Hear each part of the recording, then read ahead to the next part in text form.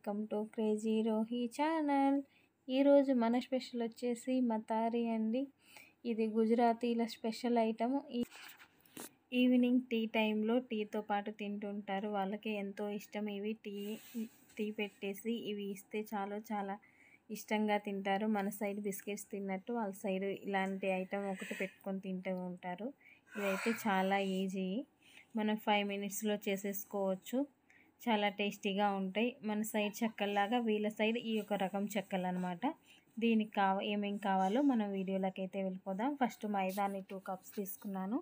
దాంట్లో సరిపడా salt pepper వేసుకుంటున్నాం. ఇందులో కారం అలా ఏం యూస్ చేయము. వాళ్ళు ఎక్కువ కారం యూస్ చేయరు పెప్పర్ యూస్ చేస్తుంటారు ఇలాంటి ఐటమ్స్లో. అందులో ఎండిపోయిన మెంతి ఆకు కసూరి మేతి అంటాం కదా దాన్ని అయితే యాడ్ చేస్తున్నాను. దీంట్లో బటర్ కానీ నూనె కానీ ఏమైనా యూస్ చేయొచ్చు. అది కొంచెం ఎక్కువ పడుతుంది. నెయ్యి అయినా వేసుకోవచ్చు. అది కొంచెం ఒక ఫోర్ ఫైవ్ టేబుల్ స్పూన్స్ వేసి బాగా మిక్స్ చేసుకుందాము. మనం మిక్స్ చేసుకున్నప్పుడు చేతిని ఇలా కలిపినప్పుడు కొంచెం లైట్గా ముద్దగా వచ్చేలాగా చేసుకోవాలి. అలా ఆయిల్ వేసుకుందాము. ఇప్పుడు దీంట్లో సరి కొంచెం వాటరే పడతాయి. ఇంకా ఆల్మోస్ట్ ఆయిల్ వేసేసాం కదా.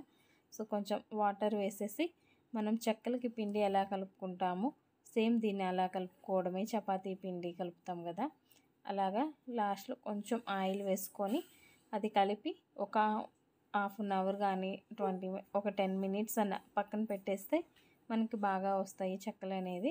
అలా మూత పెట్టి పక్కన పెట్టేసుకున్నాను. తర్వాత అలా చిన్న చిన్న బాల్స్ చేసేసుకున్నాం మనం చెక్కలకి అయితే ఏ విధంగా అయితే చేసుకుంటామో అలా చిన్న బాల్స్ చేసేసుకొని వాటిని అలాగా చపాతీ కర్రతో కొంచెం లైట్గా స్ప్రె ప్రెస్ చేసుకొని ఫోర్క్తో అలా చిన్న చిన్న ఘాట్స్ పెట్టేసుకుంటున్నాను.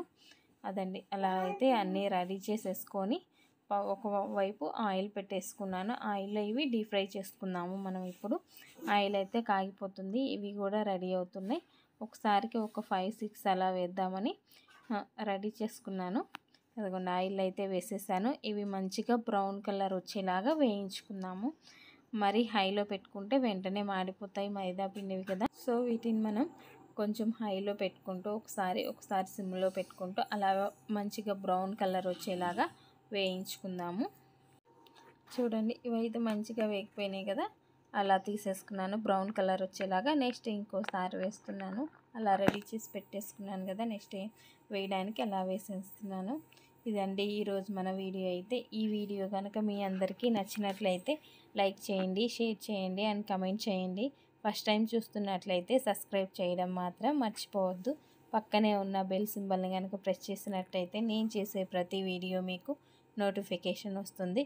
Thank you. Thank you for the watching video. Please support the crazy Rohi channel.